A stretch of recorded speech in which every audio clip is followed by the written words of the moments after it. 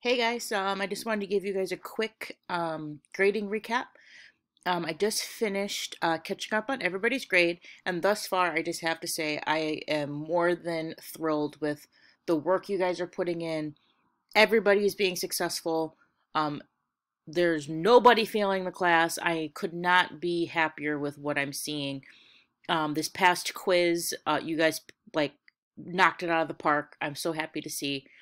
Um, so just in case you guys want to take it to the next level, I just wanted to show you um, where my grading head is at um, and give you some insight in case you do want to improve some of your grades. So this week we did chicken parm with tomato sauce and blanched broccoli. I was happy to read all of your reflections and it seems like everybody was really successful. Um, I think it's important that everybody makes a tomato sauce in their life just because you can appreciate the jar better. Um, but you, that's something that we eat quite commonly, but never really know the effort it takes to make it.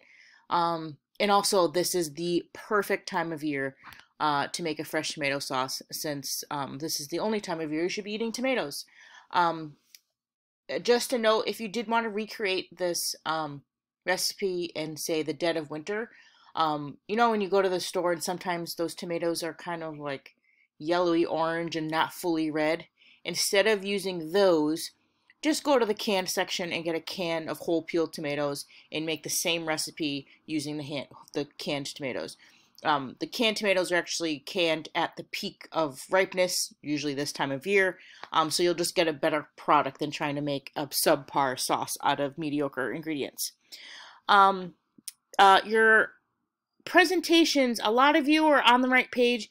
If some of you are seeing that your grade isn't as high as you want it to be, is because we're not following um, the requirements for the presentation.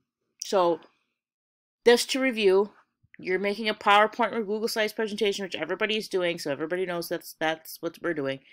Um, but your first slide, make sure that you have your name, the course title, the date, the recipe name, and an original photo related to the recipe.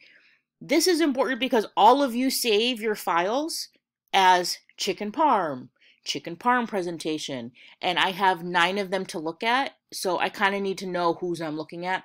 So this is the way to make sure that I, it is, you know, I no question of whose it is. And then the preceding slides, all you got to do is copy and paste the recipe. Usually I, I list it out. So please just have an additional copy of the recipe. This is for your own benefit as well. Like maybe years down the line, you're like, you know what? I made this great chicken parm recipe and I don't remember what the recipe was. And all you have is this presentation. You can look back on it and you have all the information you need. Um, and then a lot of you are missing a picture of your station setup. This includes your mise en place. We've spent so much time learning about mise en place. I want to see it. So I would like to see your cheese measured out. I want to see what everything looks like before you begin. That way I can kind of see the space you're working at. There are some exceptions, and I'll go over that as I show you um, some examples of other people's work. Um,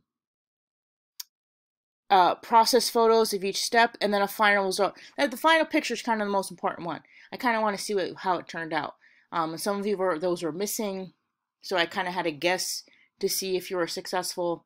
Um, so just make sure that we're just following this um, these procedures. But then I also have, so when I go into grade, I have, standby, I posted this. This is the rubric in which I'm using. So if you want to go ahead and take a look at this, this is what I'm using, making sure that your ingredients are all listed with correct measurements. That's an easy way to get four points right there um, the procedure, process photos, organization, and spelling. Please check your spelling. There are so many times I'm seeing flower spelt like the flower as in a flower bud. There are times where I'm seeing sauce misspelled. Um, so just make sure, read it out loud. You kind of catch your spelling mistakes more when you read it out loud. Um, so that's that. So let me just show you guys some um, examples. Oh, and when you go into Moodle, when you see the grade, if you got something lower than 100, if you got 100, you just assumed you did everything right. I didn't make a separate uh, rubric um, or a score sheet. but I did try to upload people's score sheets or at least comment to tell you exactly why you got points taken off. Um, so let's just begin. Let me show you some examples. So this is an example. This is Savina's. Um, although she doesn't have a separate like slide that has the ingredients list, so that's one thing I would add.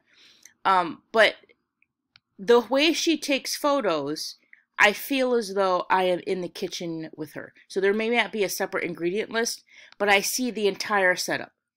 So if you're someone who doesn't want to do the list of ingredients and that much, as long as you take such detailed photos where I can see every single one and you give me a little bit of a brief description, I can't falter and excited. I feel as though I want to feel as though I'm in your kitchen. That is why I'm asking for this process because otherwise it's you have to realize it's very hard for me to be grading you on cooking when I'm not even there to taste it or see it. So giving me as much information as possible um, is really helpful for me. Um, let's take a look at another one. And then, and some of you, I think you're mistaking me thinking that you have to be super fancy. Faith kept it very simple. Um, has her ingredients listed. Um, ingredients ready to go. So I kind of want to see what you're working with. And again, each step, I see what the equipment is. I see which ones, uh, what we're going through. So each step, I want to feel, again, like I said, I want to feel like I'm in the kitchen with you. Okay. Um, let's take a look at another one. This is Jeff's um, title page, everything. I know exactly whose it is. This is like more of what I'm looking for. Um, ingredient list and then his mise en place. Equipment, I can see what everything is here. We have the instructions, each step going through. And again, I want to feel like I know exactly what's going on. So if you did have an issue and you're tr- I'm trying to troubleshoot it for you, I need to be able to have a little bit more information. Um, some of you last week, some of your chicken stocks looked interesting, like the color is interesting. They look like they might have over reduced.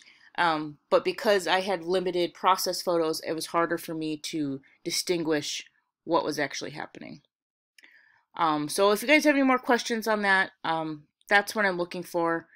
Um, so if you see, if your grade isn't as high as you want it to be on your presentations, that's why. Um, so just put a little bit more effort into, I know it's a pain in the ass. I know you guys have a lot of stuff to do. You have a million other classes. Um, but it's basically just copying and pasting. And you don't have to do a crazy description of each photo as long as you document the photo if like as long as it's telling the photo itself is telling the story. Hopefully that makes sense. Um, and then i wanted to talk about our knife skills. I'm having a change of heart when it comes to grading these knife skills um, just because not everybody has the same kind of equipment per se. So i think it's kind of unfair for me to be judging everyone on their precision because having um, a sharp knife is a very huge deal. Um, so for, for this, up until this point, I've given, if you've sent me a knife skills lab, I gave you full credit. 100%. No matter what your presentation looked like. Um, I'm thinking um, for the remainder, um, I want you to do it again. So the, we have our next knife skills lab. It's uh, an eighth of an inch cuts. Um, so I'm still obviously going to grade it, but I just want to see this, just whatever you've done in the past, you're doing it and you'll get full credit. Um, and then I'm considering for the midterm um, that you guys get to pick a vegetable you want to cut, i.e., if you have not the great knives, picking something that's a little softer, like a potato, will probably make things easier for you and I'll probably just require to give me an example of every cut and you can decide what vegetable you use. Um, but I did want to show, this is Jeff's um, knife skills presentation. So this is exactly what I'm looking for in terms of presentation. Um, his equipment, what the equipment needed, it's listed out. Uh, what cuts we're using, what items to be cut. uh, I can see the garbage bowl as plus the waste in each final cut. Okay. Um, I have another one. Vishnu, his was also really good. I'll start from the beginning. Uh, Knife Lab, um, again, listing out what the uh, cuts are, what we're using, what I'm looking at. Um, I can see the equipment, his mise en place, uh, and his cuts. So this is what I would like to see. So moving forward, please do something along these lines. I will still, as long as you have like this effort put into it, you'll get 100% regardless of what your knife cuts look like.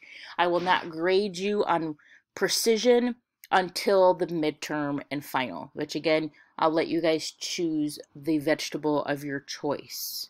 With the exception of onion, because, I mean, I think everybody needs to know how to cut an onion.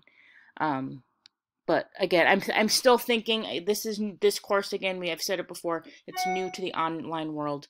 So any feedback you guys have for me to make this course course better, um, I really am open to it. So don't think you're gonna hurt my feelings or anything. Um, so I will take any ideas. I hope you guys are enjoying this thus far. Um, it seems, and I love reading your reflections. So hopefully that means you guys are enjoying this class. I've enjoyed, um, I think you guys are, knock, again, knocking it out of the park. Um, so yeah, that's all I have. Again, great work. Um, next week we will have a powwow on Tuesday if need be. And also uh, keep this date in mind, um, October 20th. Um, I have a dean that's going to be sitting in on our class. I've told them that our Tuesdays are kind of unofficial. Um, so if anybody can mark that in their calendar and be present for the 20th, um, it'd be greatly appreciated. Um, and uh, I'll get back to you guys next week. So keep doing what you're doing, and uh, let me know if you have any questions.